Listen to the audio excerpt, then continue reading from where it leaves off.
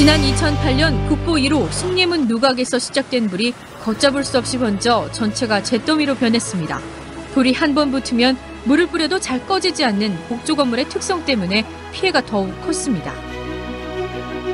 화재는 언제나 누구에게나 일어납니다. 그리고 모든 것을 앗아가 버립니다. 전 세계적으로 화재가 심각한 위험이 되고 있습니다. 방염 처리를 각각 달리한 목재 모형집을 두고 화재 실험을 해봤습니다.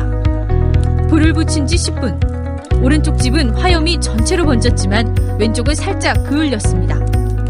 13분가량 지나자 오른쪽은 완전히 무너져 내렸지만 왼쪽 집은 멀쩡합니다. 신형 목재는 천연 목재의 장점을 그대로 살리면서 불에 타지 않는 새로운 난연 목재를 개발하였습니다.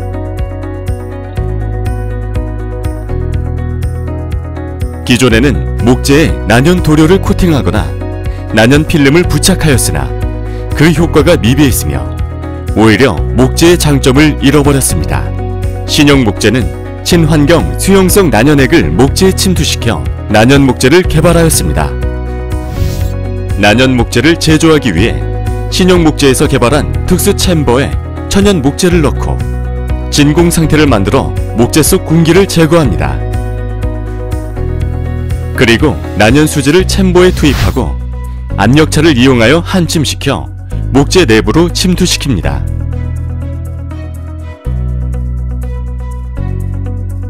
난연 수지가 투입된 목재는 양생과 건조를 통해 목재의 향과 결을 그대로 유지하면서도 불에 타지 않는 난연 및 준불연 목재로 제품화됩니다.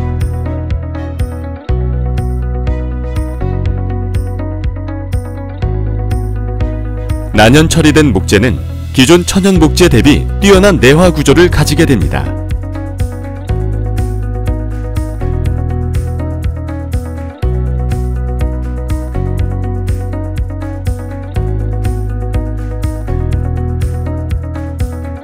기존 천연 목재 대비 두께 방향 팽창률은 8배를 개선하였고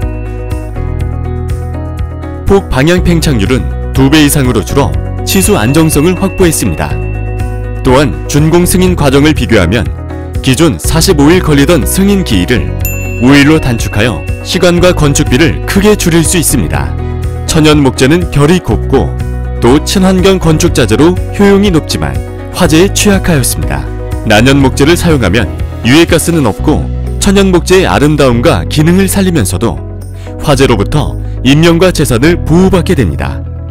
신형 목재는 방염과 난연 그리고 준불연 목재의 1등 기업이 되겠습니다. 감사합니다.